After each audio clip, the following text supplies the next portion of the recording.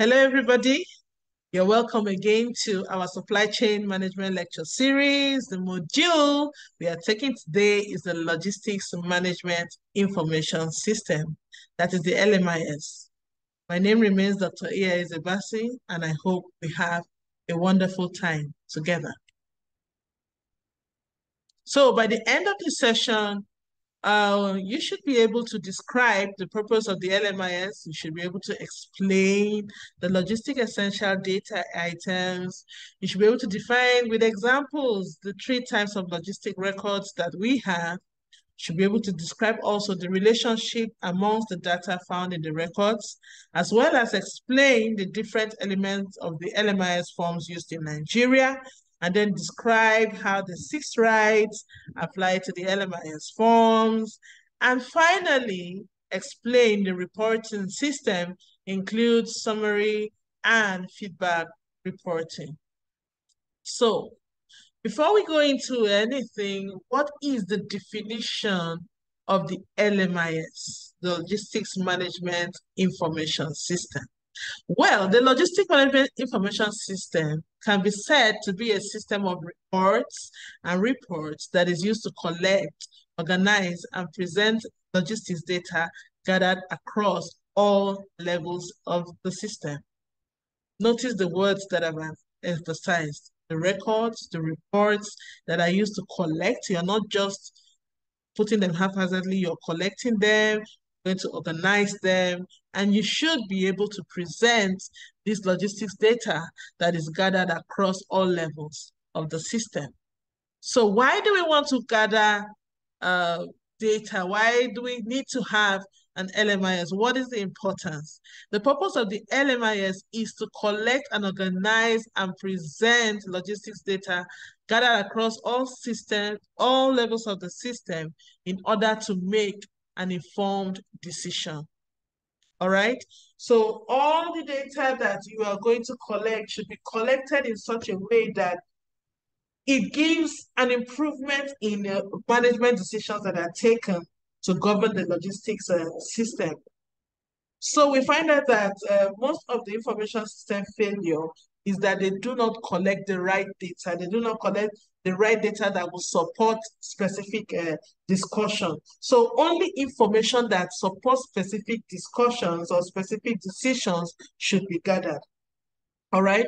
The LMIS is different from the HMIS, that's the Health Management Information System, in that the HMIS collects, you know, information about or data about patients about their conditions, about the health services, while the LMIS collects information about commodities, health commodities.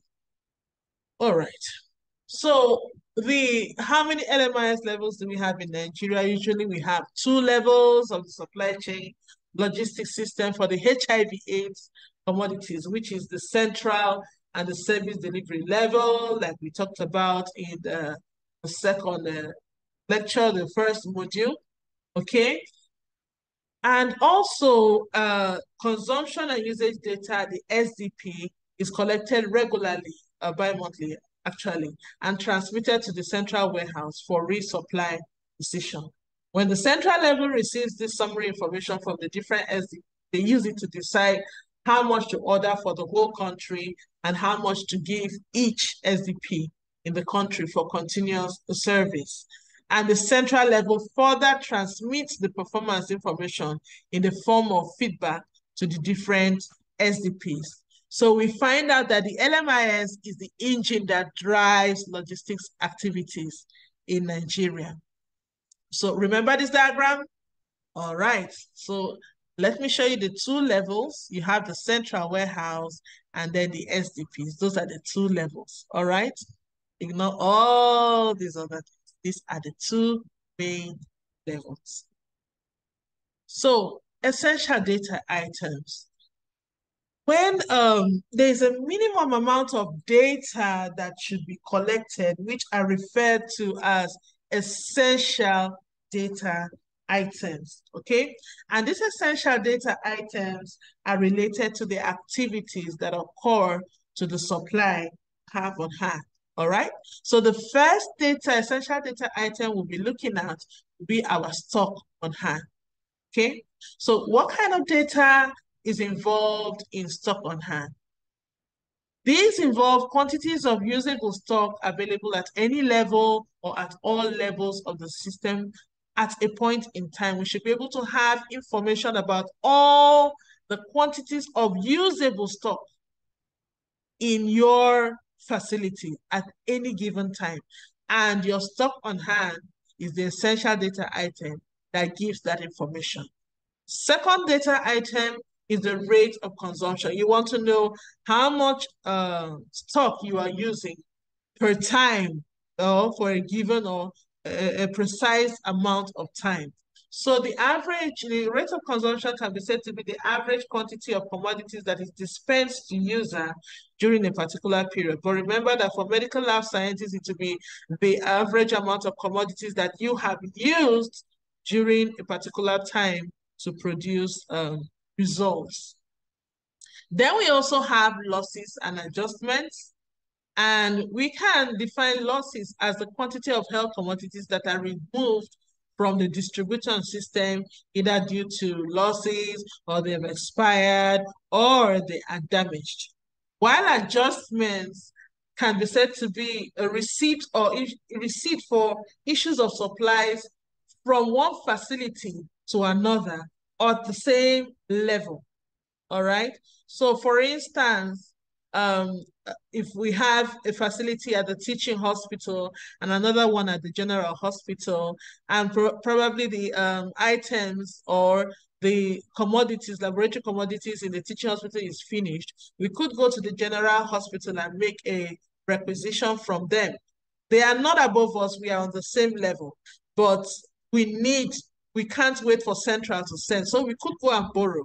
So what will happen at the general hospital is that they will have um, a kind of uh, record that shows that they have given out or transferred some of those kids from general hospital to teaching hospital. So there will be like a kind of negative adjustment. While teaching hospital will have a positive adjustment because they have received some kids from teach, uh, general hospital. So they have to record that as a positive adjustment. So let's look at records and reports, all right? So what are records? They are forms on which data are collected and they remain at the facility where they are recorded. So that is a record. While a report are forms on which data are moved from one level in a logistics system to, to another, whether it is at the same level or to a higher level or from a higher level to a lower level. So there are different types of um, different types of activities that occur to supplies in the facilities. Okay, and each of this activity has a record, you know, that supports it, that records, documents that activity. So the first activity is that your supplies are stored in the inventory. Yes. So the type of record you will have for that will be your stock keeping records. You can also move your supplies between facilities. The kind of record that will take care of that activity is your transaction record. While there are supplies that are dispensed to user or that have been released to be used on the bench to produce results. So what kind of record do we have that for that? We have what is called the consumption record. So we have three types of records, three main types of stock keeping records, transaction records, and your consumption records. So what are stock keeping records? These are used to record information about products that are in storage. And examples include your bin card and your inventory control card. So this is a sample the bin card. You can see the name of the facility, you can see the balance, losses and adjustments, what they be received from or issued to, and all that, batch number, expiry dates. Then this is also a sample of an inventory control card. So having talked about stock keeping records, what should we know about stock keeping records? We should know that stock keeping records are of two kinds. We have your bin card. This bin card, I don't know if you've ever gone to a pharmacy before. Anything they issue to you, they are always recording on two different cards, okay? One of those cards is called the bin card. And this one bin card is kept per lot, batch, or expiry date, all right? Lots, you know, those reagents you received at the same time or are produced at the same time or have the same kind of expiry date. So you have one bin card that is kept per lot, batch, or expiry date, and they are kept with the products on the storeroom shelf that bin card doesn't leave that place. On the other hand, the inventory control cards have one commodity, not minding the lot, the batch, the expiry date, one commodity. Like if you have one for HIV, uh, HIV uh, kits, you have one for determine kits, you have one for the CD4 uh, kits, and all that. The different kind of tests have their own different kinds of uh, inventory control cards. So you generally have one per commodity, and this is usually kept in a ledger or book form in the product manager's office. All right. So the second type of records is the transaction records, and they are used to record information about the movement of stock from one storage facility to the other. They are proof of requisition, issue, and delivery or delivery. And examples include your record for transferring and returning commodities, your um, CRRIF, which is the combined reports requisition uh, information report form, and um, the requisition and issue voucher. This is a shorter version of the CRRIF form, and this is a sample also of transferring and turning records for Nigeria. So we should know, what should we know about the transaction records? That there are many types of transaction records and the kind of information they contain will be the quantity of commodities that have been ordered or shipped, the authorization to receive or to ship the commodity, proof of receipt, signature and date of the on the form, and uh, they usually do not carry essential data item. And the requisition issue voucher is used for a pull system, while the issues voucher is used for a push system.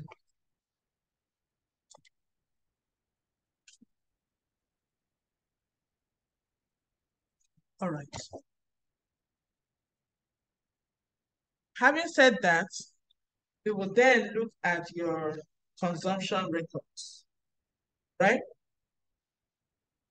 So consumption records um, have to do with um, records that are used to record the quantities of the products you used used by the laboratory, uh, laboratorian, or that is dispensed to users at an SDP when services are provided.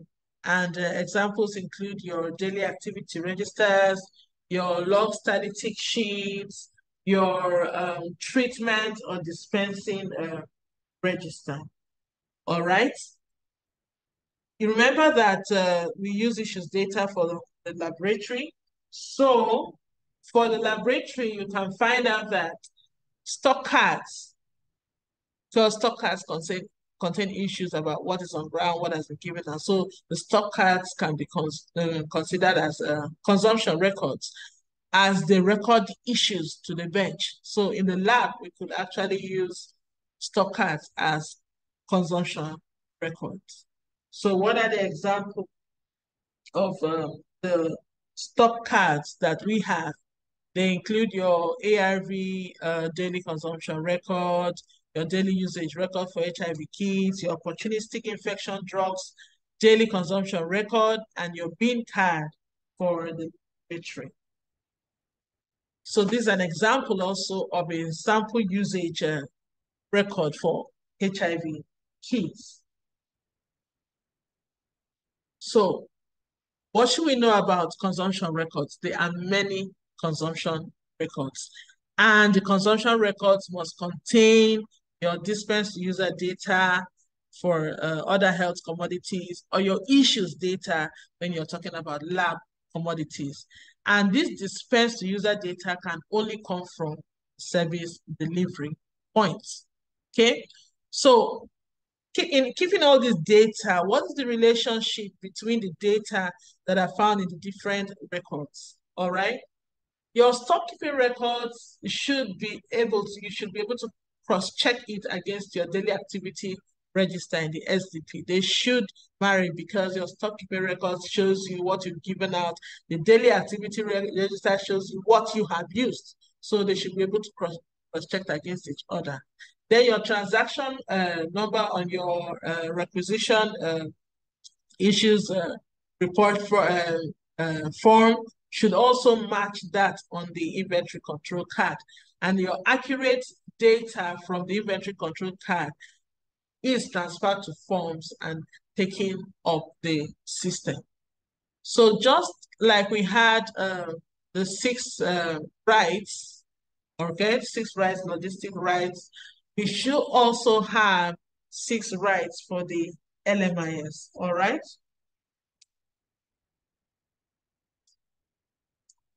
This is because the logistics managers use information and they need information that is qualitative, that has the right quality, that has the right quantity. You should not spend more to collect data than we spend on supplies and all that. So the six rights for uh, logistics can also be fit into the LMIS system. So let's look at the six rights for the LMIS systems. A well-functioning logistics system needs um, the right data, the right quantity, in the right quality, at the right time, to the right place, for the right cost. Okay?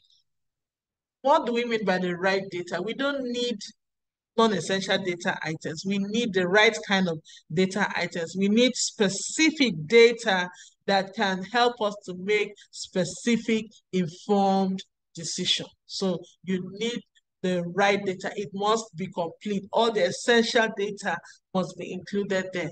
And we need it in the right quantity. All the data that is needed from all the health facilities should be there. And we need the right quality, which means that we don't want haphazardly filled forms and records. We want complete and accurate data.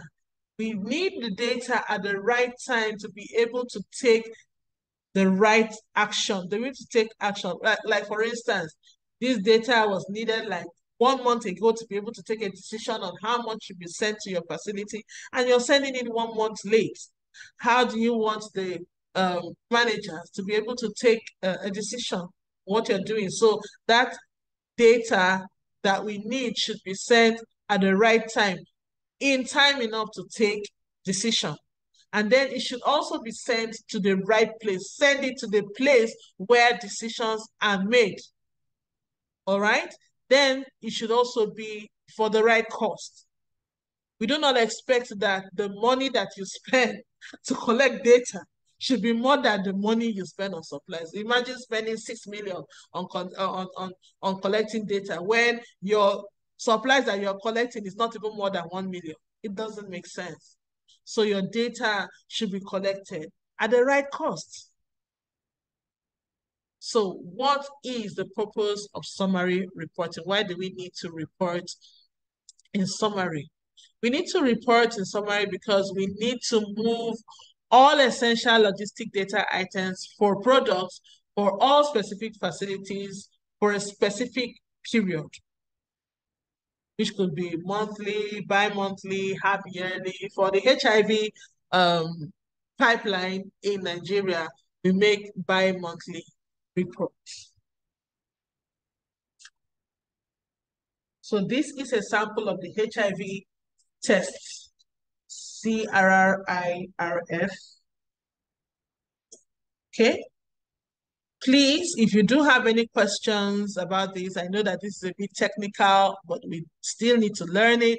If you have questions about it, please and please write your questions in the comments.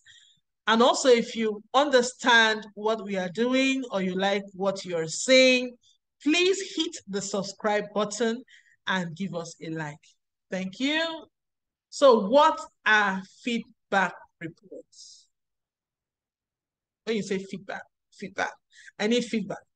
I know I asked for a lot of feedback on you know, my videos. I'm still getting more feedback. So why do we need feedback? So what are feedbacks in the first place? Feedbacks are reports that present an analysis of data that is set up the system, or you have reports that are sent back to the lower personnel for their use, or reports that are exchanged among central partners. Remember that um, HIV pipeline I, diagram I showed you. There was a bi-monthly reports.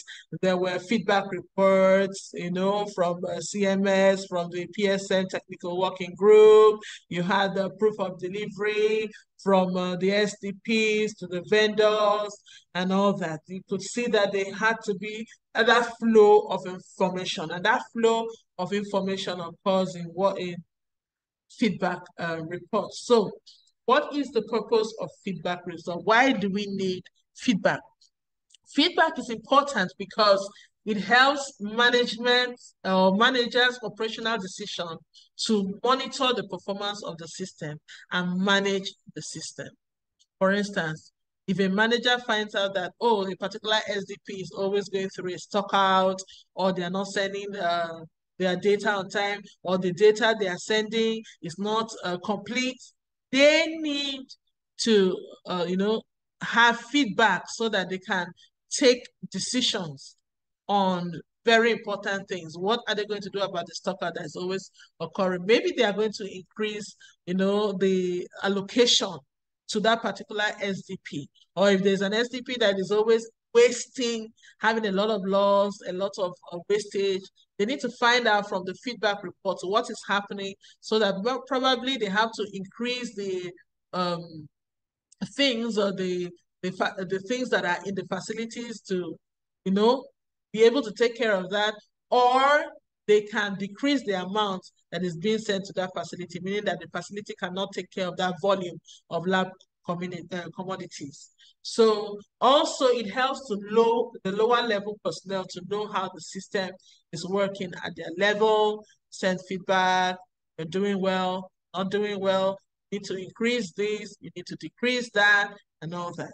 So it's also used to motivate them to improve performance and to indicate any problems in the reports sent or stock levels. Okay? Everybody needs to be motivated. If you're doing well, tell me I'm doing well. If I'm not doing well, tell me you're trying, but you could do better. This is this and this and this and this and this is where we think you should uh, put in more efforts. So what would your information managers like to have in their feedback reports? They would like to have information like the stock situation by level. Have there been any stockouts?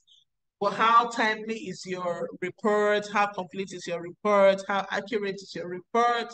They will also want to have information on receipts and issues. They also have, want to have information on the facility's performance in terms of the health commodities dispensed. So the reporting system, we have reports that move up and down through a logistics system, like from the central warehouse to the SDPs, you know, from the SDPs back to the central uh, warehouse and all that. And the reporting system also provides decision makers at various levels information to make informed decisions.